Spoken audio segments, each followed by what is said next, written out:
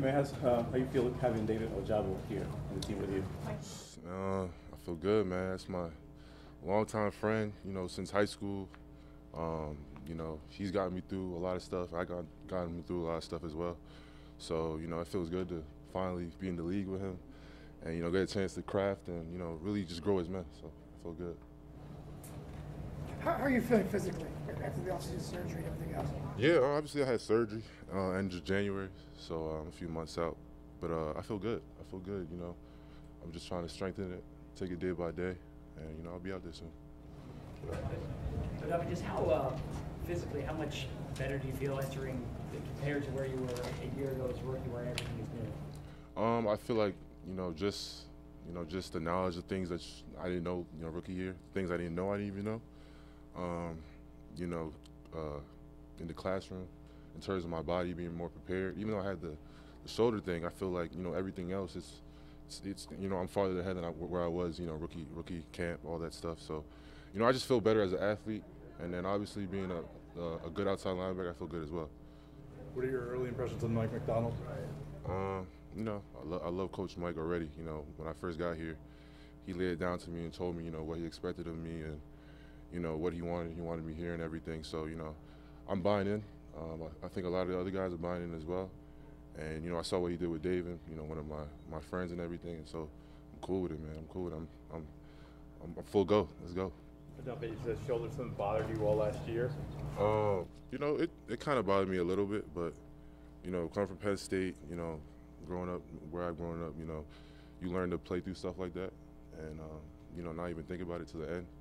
But it definitely, you know, got a little, got a little bit, you know, more kind of hectic towards the end of the season. But, you know, I'm good now. We straight. What's your big takeaway? Uh, where, I mean, there were some really great plays and some great moments during the season. Um, coming into year two, what do you, there other, I'm sure there were mo- moments like that. What are you, what is your big takeaway from that? Um, that basically, I'm just extremely raw, extremely, uh, you know, I'm a potentially, I'm a potential guy, basically. So, you know, I'm looking at the film. I watched the film, you know, last year, and I'm like, oh, I did, I did, I did crazy good. I did all this stuff, and then you watch it now after all season, you're like, there's so much stuff you can work on.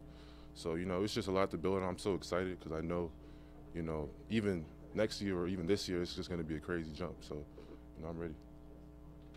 About that, I know the, it's not a signed deal, but the Ravens are still interested in bringing back Justin Houston. I know you guys were, were pretty close last year. Have you kept in touch with him during this offseason? Oh yeah, uh, we kept in touch. You know, we were um, think together in the Cali- California, like right after our season. But uh, yeah, you know, I'm I'm down for it whenever. You know, Justin Houston, he taught me a lot last year. Obviously, uh, off the off the field and on the field. So, you know, we can you can use all the help we, we can get. So I'm cool with it. Can you elaborate a little bit on what your expectations are of yourself and what Coach Macdonald relayed to you? Um, just you know, dominate more, um, finish. Uh, you know, be there more for my team in terms of like you know making the plays that in situations that we need.